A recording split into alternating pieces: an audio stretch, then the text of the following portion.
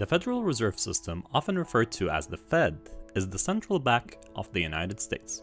Some sources argue that the Fed is the most powerful financial institution in the world. It was created on December 23, 1913, with the authorization of the Federal Reserve Act. This act came in based on the desire for central control of the monetary system and to relieve financial crisis. The Fed is made of 12 regional Federal Reserve banks. Each of these banks are responsible for a specific geographic area of the US. Collectively, the Fed aims to provide the country with a reliable and steady monetary and financial system.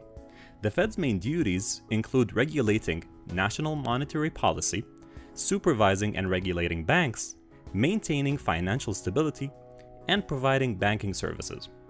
The Fed also influences the aggregate demand, which is a measure of the total consumption of goods and services over any period of time. The Fed can typically increase aggregate demand by lowering interest rates. When it lowers interest rates, asset prices climb. Value increase of assets such as homes boost confidence among consumers, leading to purchases of larger items and improving the overall spending levels. For a matter of fact, and in the current situation, the Fed has also decreased the interest rates into near zero, with high hopes to stimulate the economy. Due to the current events of the COVID 19 pandemic, businesses closed their doors, events were cancelled, and countless professionals had to work from home or were even let go.